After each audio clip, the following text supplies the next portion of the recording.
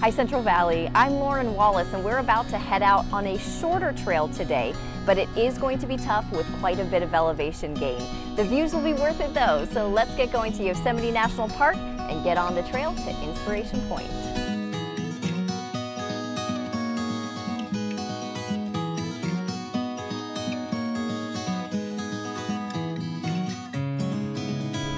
We just drove up Highway 41 to Tunnel View, which is about 25 miles past the south entrance to the park. As soon as you get out of the tunnel, you want to make your first right-hand turn into the parking lot, which is across the street from the parking lot people typically use to get that view. Our trail is going to start near the accessible parking spaces in our lot, and it's immediately going to start going uphill.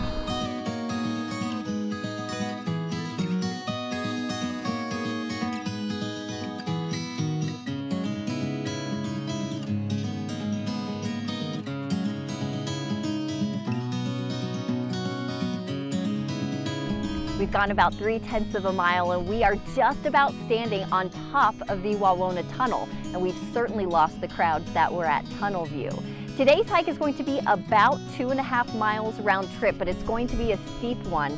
In fact, we're going to gain about a thousand feet in elevation just in that first mile to get us to Inspiration Point.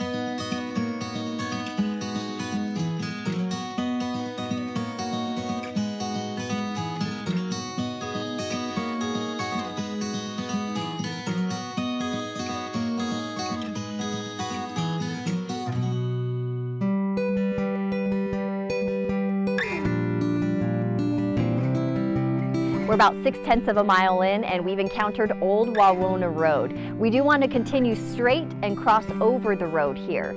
If we go to our left, that'll take us down to Bridal Veil Fall in Yosemite Valley, and then going to our right will take us a more roundabout way to Inspiration Point on an unmaintained road.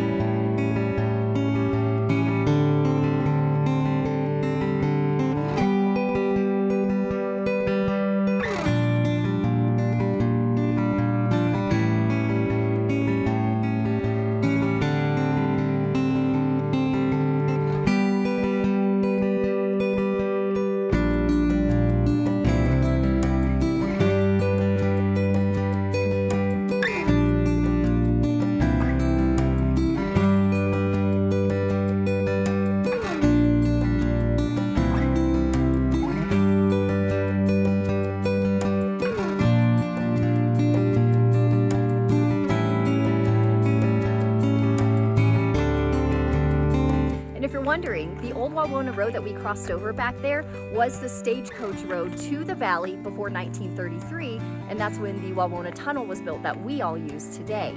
The old Wawona Road rose steeply from Grouse Creek up to Inspiration Point before it drops sharply down into the valley. So the Wawona Tunnel that we now use today is much more gradual with its descent into the valley. It also gives us the iconic tunnel view.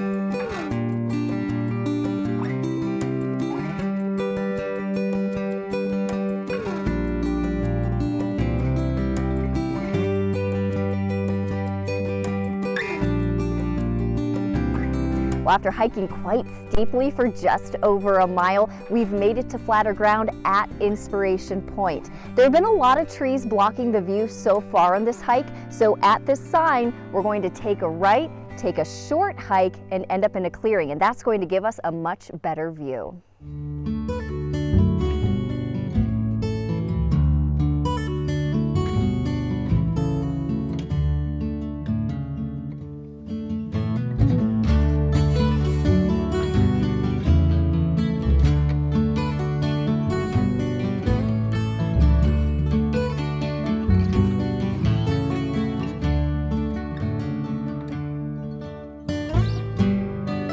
At about a mile and a quarter, we made it to this clearing and we have such a fantastic unobstructed view. This is similar to tunnel view, but with far fewer people. So we're going to stick around here for a little bit and enjoy the peace and quiet before heading back to the car. Thank you so much for coming along with us on today's adventure. Make sure you go to yourcentralvalley.com and click the On the Trail section and you can find your next hike.